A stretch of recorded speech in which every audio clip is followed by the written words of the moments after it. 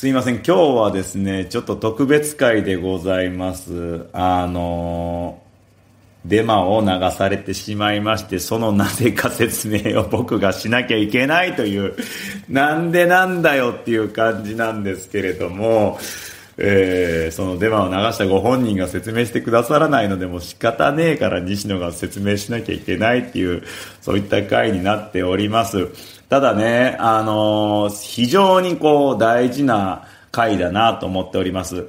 デマを流されて、うんと、まあ、最悪ね、僕はいいよ。声もでかいからさ、こうしてそういう説明する場所もあるから、あれは嘘だよっていうのとか言えてしまうからあれなんだけれども、みんながみんなそうじゃないじゃないですか。例えばこれうちの母ちゃんがこの被害に遭ってたらどうすんだよって。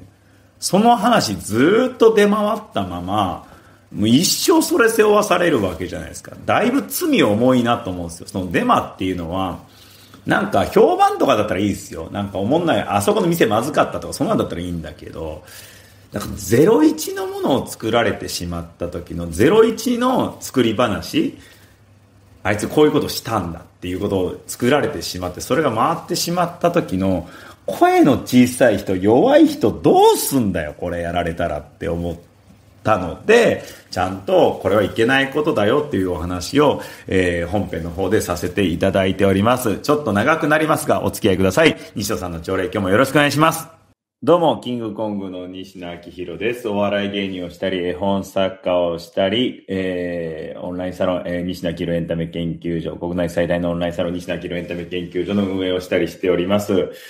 さて、今日はですね、ごめんなさい。もしかしたらちょっと、えー、長くなるかもしれませんが、もうこんな話したくないけど、自分が説明せざるを得ないっていうことも、えー、汲み取っていただきたいんですが、あのー、SNS、インターネットで、まあ、デマを流されたんですね。で、その説明をですね、まあデマなので、これデマですよっていう説明をなんで僕がしなきゃいけないんだって話なんですけれども、えー、な、なんのこっちゃよくわからないっていう方もいらっしゃると思うので、えー、こうこうこういうことがありまして、今こんな状況です。えー、ここで僕は今すごく困ってますっていうことと、こういうことってあっちゃダメだよねっていうような、えー、お話をさせていただきたいと思います。えー、くれぐれも言っておきますが、なんか特定の誰かを攻撃するとか、そういう意図は一切なくてですね、被害者はこんな気持ちでいますよ。そして、えー、その裏ではこんな面倒があったんですよ。苦しんでる人がいたんですよっていうことを共有して、で、こういうのをもう二度とやめようねっていうような、えー、呼びかけでございます。えー、お付き合いいただけると嬉しいです。えー、本題に入る前にお知らせをさせてください。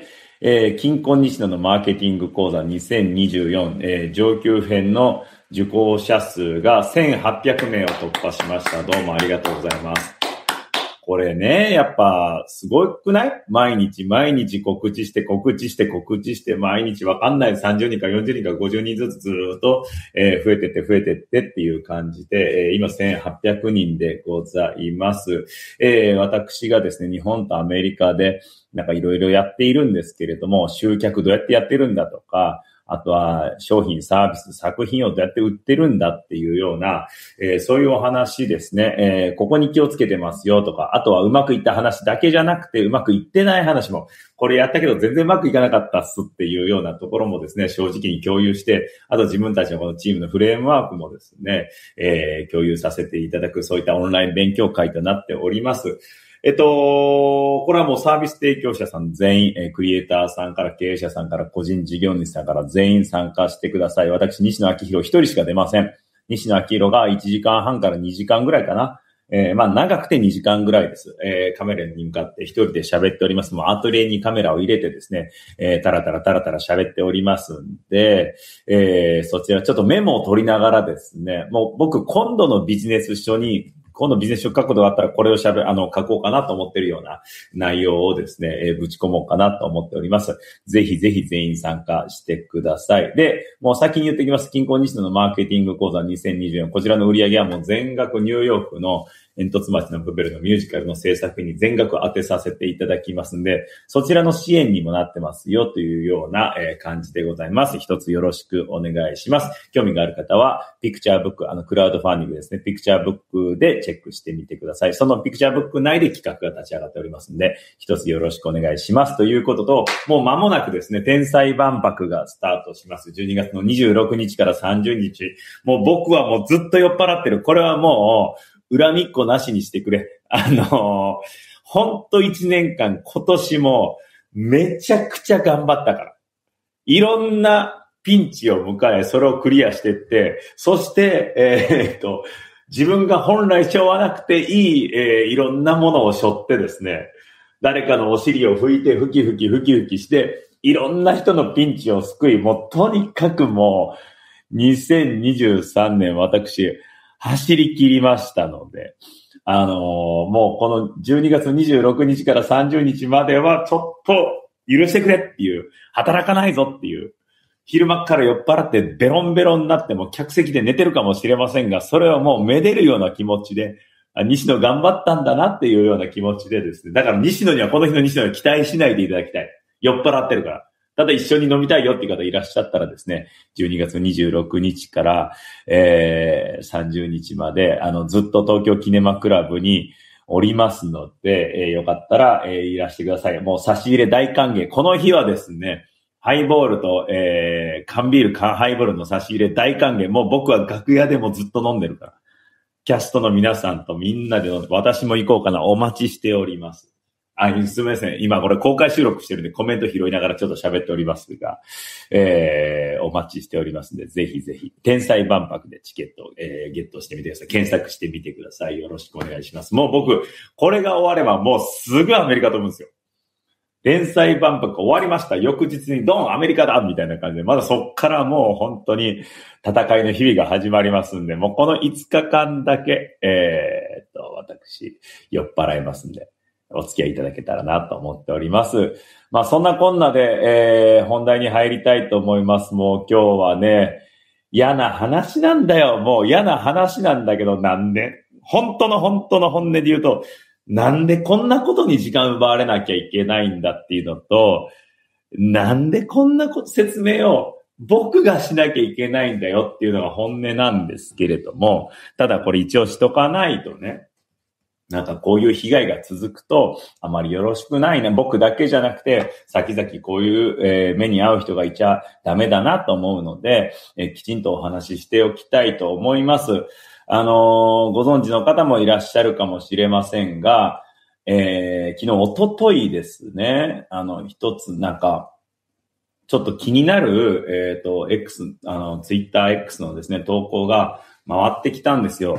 で、えー、もう全部、誇張せずに事実だけをそのままお伝えします。渋谷めぐみさんというですね、作家さん、ライターさん、えー、がですね、あの、X に記事を投稿されてたんです。これがですね、あの、俳優、えー、俳優じゃ、タレント芸人のですね、松村邦弘さんの、インタビュー記事をですね、紹介されていたんです。引用リツイートで。まあ、それは本当インタビュー記事自体は本当素晴らしくて、松村さんのですね、もう芸人魂、もう芸人ってこうだよね、ここ素敵だよねっていうようなのがもう本当、本当素晴らしいインタビュー記事だったんで、まあ、あの、それ自体は本当に広まるのはめっちゃいいことだなと思ったんです。で、えっ、ー、と、その記事は別に僕全く関係ない松村邦弘さんの記事だったんですけども、この渋谷めぐみさんという方がですね、その記事を引用リツイートされていて、で、その引用リツイートの引用文になぜか急に、えー、西野昭弘の家と松村邦弘の家を比較するテレビ番組のワンコーナーを見たことがあるっていう書き出しだったんです。あれなんでここで西野の話急になってんだろうと思ったんですけれども、まあ、あの、松村さんの素晴らしさを、なんかこう、際立たせるために僕がなんか使われてるんでしょうね。で、まあ、こんな書き出しで、まあ、とかく西野昭弘の家と松村邦弘の家を比較するテレビ番組のワンコーナーを見たことがある。西野昭弘の家は、今のアーバンライフが綺麗にディスプレイされてて、なんだかつるっとしていて、この部屋の映像を見せられても、西野昭弘の部屋だって思える決定的な西野昭弘な要素が点々点みたいな感じで、なんか投稿されてたんです。え、な、何？なんか急に西野昭弘をなんかわーって来てるけど、一体何なんだと思うじゃないですか。これ流れてくるんですよ、タイムラインで。で、で、お客さんが教えてくれるし、生放送、生配信とかすると、西野さんこれどういうことなんすかみたいな説明迫られるんですよ。これがまず非常にめんどくさいんですけど、生配信で全然関係ないことをしているのにもかかわらず、これどうなんすか？これどうなんすか？で、これが流れてきたんですよ。で、この渋谷めぐみさんがですね、この引用リツイートの、えー、しつつですね、画像も一緒に載せてるんですね。で、この画像にですね、渋谷さんのそっからのですね、すげえ長文がさ、出るわけだけど、これがですね、えー、っと、読み上げますね。長文をですね、画像に撮って、あの貼られてたんですけども、えー、さっきの文章の続きなんですね。えー、西野昭弘の家と、えー、松村邦弘の家を比較するテレビ番組のワンコーナーを見たことがある。西野昭弘の家は今のアーバンライフが綺麗にディスプレイされてて、なんだかつるっとしていて、この部屋の映像を見せられても、西野昭弘の部屋だって思える決定的な西野昭弘な要素が一つもなかった。文字通り雑誌から出てきたような部屋で、ただそれだけだった。対して、松村邦弘の、えー、部屋は、とにかく資料で埋め尽くされていた。この記事中にも書かれているように、ネタ帳の中に住んでいる。この記事中ってはインタビュー記事ですね。えー、他人からはゴミにしか見えない新聞紙の束の山。何か呪ってるんじゃないかって勘違いしそうな、えー、になるメモで埋められた壁。真ん中にせんべい布団の万年床。松村邦弘の部屋が映されてからずっと番組の出演者や会場のお客様は笑っていた。たまに、キモッと吐き捨てる声も聞こえてきた。っていうところからまだ続くんです。だけど私にはどうしても松村邦弘の部屋の方が魅力的だった。だってどこを切り取っても松村邦弘の部屋なんだもん。映像が終わってスタジオにいたビートたけしに西野昭弘が、松村さんの部屋やばいっすね。てか、部屋って言っていいのかな？こんなものを部屋って呼んでいいのかな？と、ヘラヘラ笑って話しかけた。そしたら、お前の部屋の方がやばいよ。あんな部屋お姉ちゃん連れ込んでやることしか考えてない部屋じゃねえか。芸人だよな。どこにお前の芸や笑いやエンタメに対しての貪欲さがあるんだよ。おいら、松村の部屋は20年前に行ったことがあるけど、もっともっととんでもないことになってて、涙が出そうになった。お前、あんな部屋でネタ作ってるの恥ずかしくないのか？うん。まだ続きます。こんな感じでブワーってまくし立てて会場が気まずい雰囲気になってた。なってしまった。すると、竹ちゃん言ってんねバウバウと松村邦弘が高田文夫の真似をして笑いをかっさらって次のコーナーに進行してた。この記事を読んであの時の松村邦弘を鮮やかに思い出した。尊敬できる人がまた一人増えた。読めてよかったっていう、そういう内容を投稿されてて、僕のもう、第、最初の感想としては、え、そんな番組あった？え何その番組？僕と松村邦弘さんの部屋を比較するっていう番組が、まあ渋谷さん曰くあった。で、そこにはたけしさんもいらっしゃって。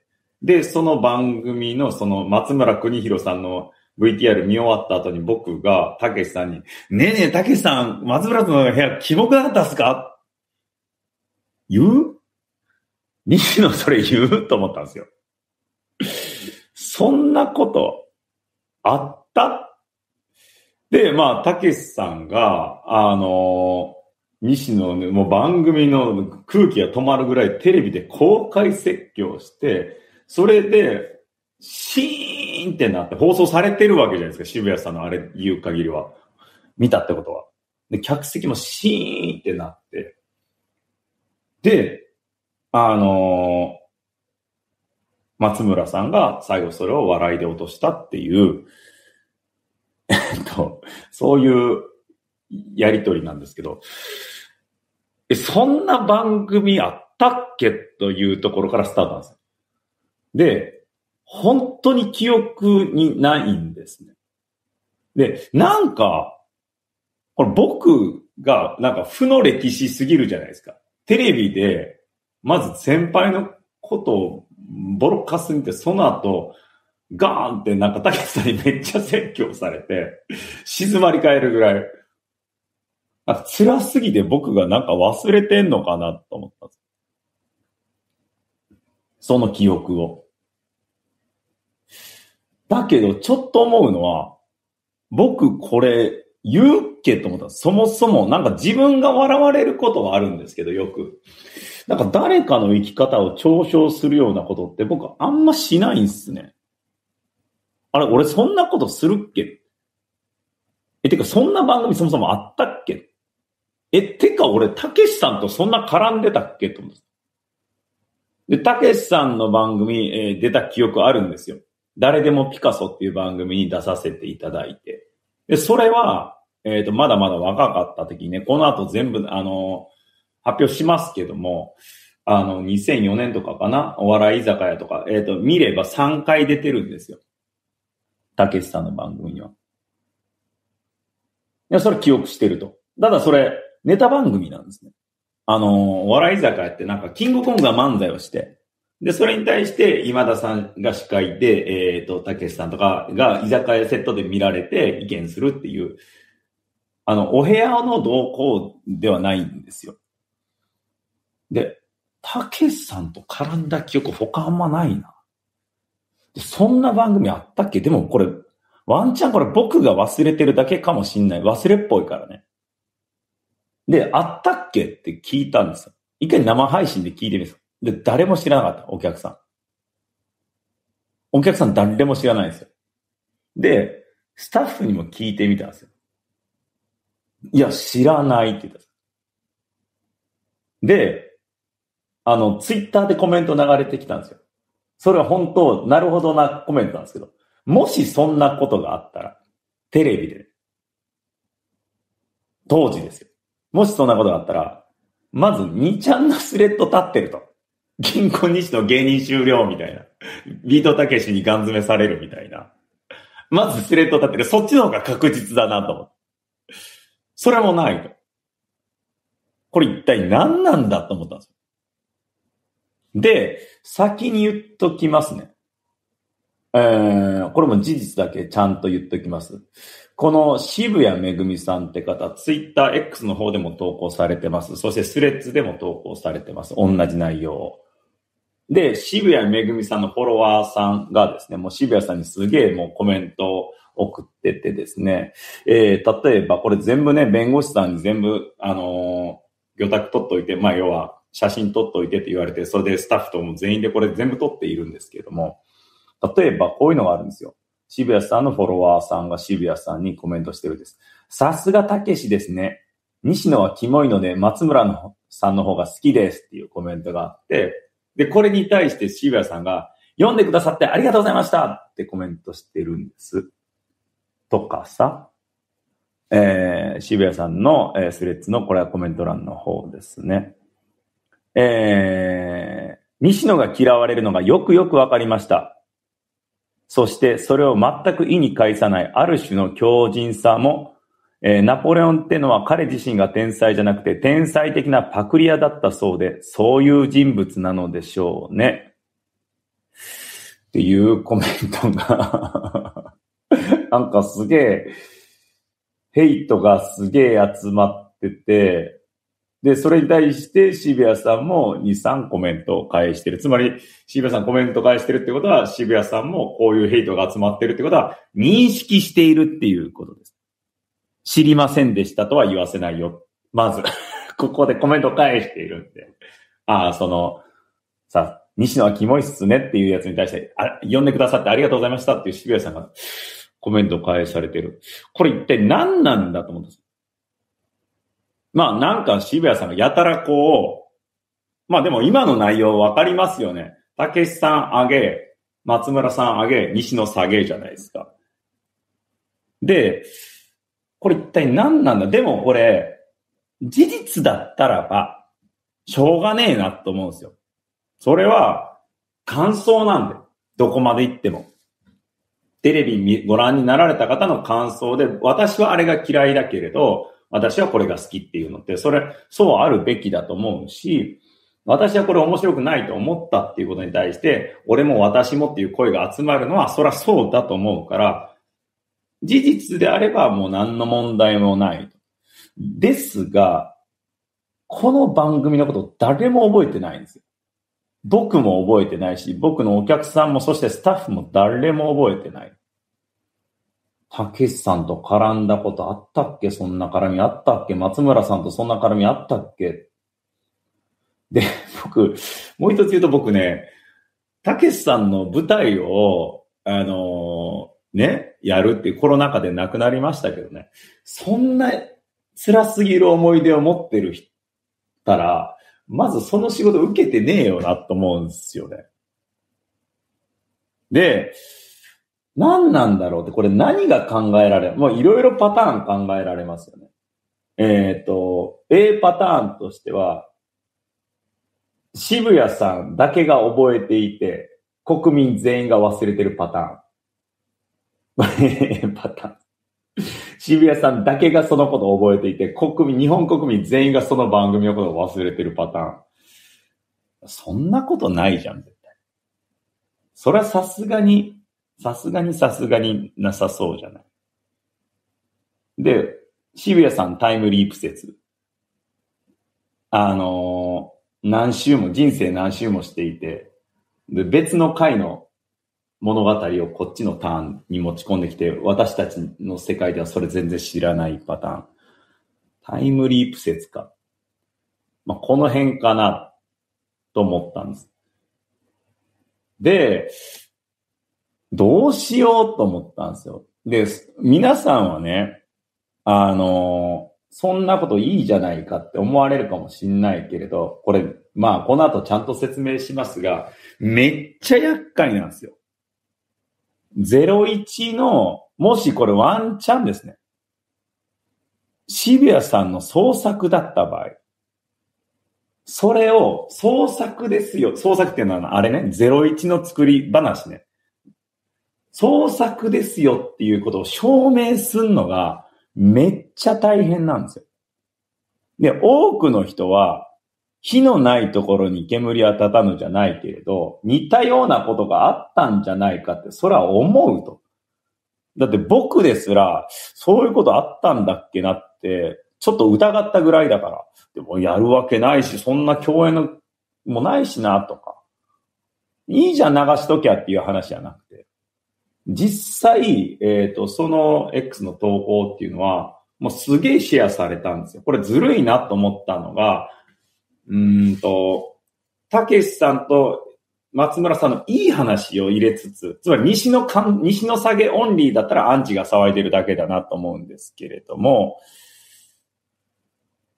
たけしさんと松村さんのいい話も入れてるから、そっちをシェアしたい人もいるわけじゃん。結果的に、この、たけしさんさすがですね、松村さんさすがですね、西野キモいすねになってるわけで。で、そんなの普通の人鵜呑みしないでしょって思うかもしれませんが、別にアーティストの奈良義友さんとかガンガンシェアしちゃってるし、さすがたけしさんみたいな感じで。まあ広がるわけですよね。もう100万人ぐらい、もうこれ数字取れてます。これも魚拓取ってますけど、100万人ぐらいの方がこれをご覧になられてると。で、なんかニュースにもなっていると。で、どういうことなんだろう渋谷さんの本当に勘違いなのか。で、あの、何人かが渋谷さんにコメントしてるんですよ。それ、どこの番組っすか？みたいな。何の、いつあった番組ですこれ当然僕もコメントしてます。まず。僕もコメントして、渋谷さんに対して、それ何の番組っすか？ですが、僕にはリターンはなかったんですけれども、渋谷さんは、まあ他の方には返信はされていて、いや、煙突町のプペルが出る前にやってた番組です。番組名は出演しました。忘れてしまいましたが、まあ、やりとりは、えこういうやりとりがあったってことは覚えているっていうことで、これ何なんだ？渋谷さんの勘違いなのか？それともなんか意図的なものなのか？これはわかんない。最後の最後までね。ただ一つ事実としてあるのは渋谷さんは新刊を出された。タイミングであった。だからその X の一番上には渋谷さんの、えっと、新刊の宣伝がドンって乗っかってると。ピン、ピン打たれてね、固定で乗っかってると。え、それのプロモーションにもしかして使ったと、ちょっと、まあ、邪推というか、まあ、しちゃう、しちゃうのはもうしょうがないから、それはもう思っちゃうのは。それなの？と思って。まあでもなんせ、これめっちゃめんどくさいのは、こういうことが出回ると、先々ずっと聞かれるんですよ。これってどうだったんですか？あれ、あの時ってっていう。ネットでこういう噂回ってますけど、どうだったんですか？ってずっと聞かれるんですよ。めんどくせえんですよ、これ。で、それに答えていくんですけれども、えっ、ー、と、当然その質問に答えら、あの、嘘ですよとしか言えないからさ。現場は盛り下がるしね。で、これをなんかめんどくせえなと思って、どうしようと思って、で、まあ早速、まあそこはさ、西野ですから、すぐ弁護士さんに相談するんですね。やっぱほら、アメリカかぶれしてますから。すぐこれは、えー、まず一歩目に裁判 持ち出すんですよ。で、じゃ、でもこれ、あのー弁護士さんにお願いして裁判するにしても、なんかこれ乱暴なことは絶対したくないな。ちゃんと事実確認にして、こっちに落ち度があるかもしんないから。忘れている可能性だってゼロじゃないからね。なので、えっ、ー、と、まず、その弁護士さんに、まあ相談するわけですけれども、もうすぐ、すぐ相談した。で、あの、まあいろいろ、もうすぐ動いてくださってさ。で、えー、まずは証拠全部集めるっていうことで、えっ、ー、と、もう、渋谷さんがまずいってなったらもう削除するのはもう分かっているから、その前にも全部魚拓取りました。渋谷さんが何時何分に、えっ、と、そのフォロワーさんにこういう返信をしましたっても全部魚拓取って、まあ全部写真に残っているんですけれど、まあとかくまずその弁護士さんもそれは言うわけですよね。もうすでに西野さんやられてると思いますが、えっ、と、証拠集めのは取っておいてくださいと。で、えっ、ー、と、まあ、やっぱり、えっ、ー、と、証拠集めのこれ、弁護士さんの文章ね、証拠集めの主題としては、主題は何かっていうと、真実ではないのに嫌がらせを受けている。そして投稿による不利不利益の大きさ。ここが、えっ、ー、と、メインテーマであると。で、この真実ではない。これは全くのデマですよっていうのって、めっちゃむずいって言ったのは、これゼロの証明って言います。悪魔の証明。これがむっちゃむずいんですよ。ないことを証明するってむずいんですね。大変なんですよ。ただ、方法は一つだけあると。それ何かっていうと、もう過去の出演番組全部リサーチする。西野とたけしさんと松村さんが共演したことがそもそもあるのかっていう。で、全部リサーチするんですよ。で、えー、オリコンに、えっ、ー、と、とか調べてですね。で、そういうと、調べてもらうところにもお願いしてですね、全部調べました。結論言っちゃ。なかったです。その3人が並んだこと、なかったんです。ないの。だからそのやりとりないんですよ。たけしさん、松村さん、キモいっすよね。ないんですよ。ええー、渋谷さん、これ01の創作？なんか持ったとか。だってこれ、うっかりしてたレベルじゃないじゃないですか。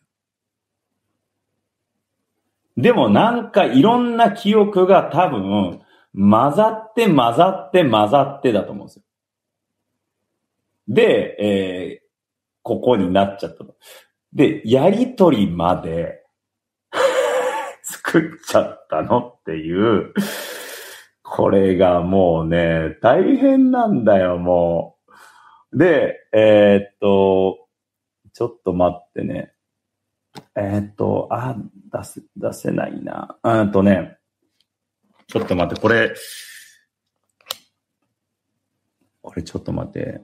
うんとね、めんどくせえな、探すの。ちょっと一瞬ちょっと離れていいですか？離れていいですかっていうのは資料を見なきゃいけないから、資料を見るためにちょっと一瞬だけちょっと離れたい。ごめんね。ちょっとパソコン開くわ。でさ、考えうるのって何なんだろうって思ったんですよ。考えうる、え、なぜ、なぜこんなことになってしまったんだろうって考えうるのは、まあ、いくつかあって。で、一つは、まず、その、アーバンライフな生活みたいな。で、部屋を見せて、なんなんこれ芸人の部屋じゃねえじゃねえかっていじられてる人って、誰か他にいんのかななんかパッと思いついたのが、オリラジの藤森くん。そして、えー、アンジャッシュの渡部さんだったんですよ。で、検索してみたんですよ。アンジャッシュの渡部さん、自宅公開。そうすると出てきたんですね。アメトークの企画で、渡部さん大好き芸人みたいな。ここのですね、番組の、えー、内容、えー、がですね、えー、講師ともに絶好調の渡部さんのスタイリッシュな一日にも密着。アーバンライフな自宅写真も公開されるみたいな。これも全部見るわけですよ。じゃあやっぱ渡部さんが、えっ、ー、と、本当にこう、おしゃれな家に住んでてさ、最近のアーバンライフなものが並んでる家に住んで、芸人からみんなにいじられてる、有吉さんからお前これ芸人がとかなんか言われたり、もういじられるっていうのがあって、まあ、これの記憶が若干渋谷さんに入っていたのかな。にしても、その後のたけしさんと松村さんと西野の下り何っていう。ここの説明がつかないんですよね。で、渋谷さんの完全捏造って思うじゃないですか。で、実はそれもですね、もう全部調べました。全部調べるんです。めんどくせえけどね。めんどくせえけど、全部調べたんすよ。スタッフさんがまずしもう一緒になって調べてくださいました。えっ、ー、と、あれどこだっけな？どこに行ったっけな？あ、これだ。あ、まず、えっ、ー、と、事実だけ言っておきますね。ぼえー、金庫西野が、えー、たけしの誰でもピカソに、えー、という番組出たのはですね、えっ、ー、と、2005年8月12日、そして2004年11月26日、そして2004年9月24日、えー、この3回でございます、えー。そしてこの3回とも松村邦弘さんの出演はありません。ありません。で、共演はそこではしていないっていうことですね。で、えっ、ー、と、いろいろ調べてみたんですけれども、リサーチしてくれました。えっ、ー、と、2009年8月16日に、これは2ちゃんかなの投稿で、えっ、ー、と、ありました。たけしの誰でもピカソの一コマ。芸人の私生活を見るコーナー。松村の部屋、散らかってめちゃくちゃ汚いビデオテープ、本がたくさん。一方、金婚西のロバート馬場の部屋、綺麗。ティッシュ一つ落ちてない。間接照明で雰囲気もいい。これあの、にちゃんかなんかの投稿ね。で、えー、と、たけし、芸人の部屋じゃないよ、これ。どうやってネタ探してるの？本もないじゃん。うちの若いのにもいるんだけどさ、勉強しないバカいるのよ。俺でさえピアノやタップの練習してるのにさ、松村の部屋は良いね、芸人の部屋だよ、行きたくねえけど、わら。西野と馬場、キョロキョロしてビビりまくってた、わら。みたいな投稿があった。で、えー、っと、これはですね、えー、繰り返しますが、2009年8月16日になんか投稿された、えー、2チャンネルの書き込みっぽいやつですね。で、えっ、と、まず、えっ、と、ロバートのババちゃん、うん、との、えー、共演もないと。僕は。あの、その、誰でもピカソに、ババちゃんと二人で出たっていう、で、キョロキョロしてるっていうこともなかったんです。でもなんか、元ネタここなのかなっていうのはなんとなく当たりがついた。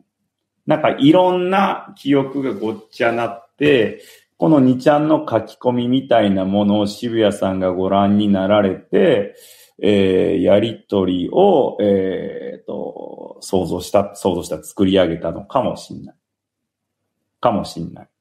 が、えっ、ー、と、くれぐれも事実ベースとしては、えっ、ー、と、西野と松村さんと竹内さんの共演はなかったし、そういうやりとりもなかった。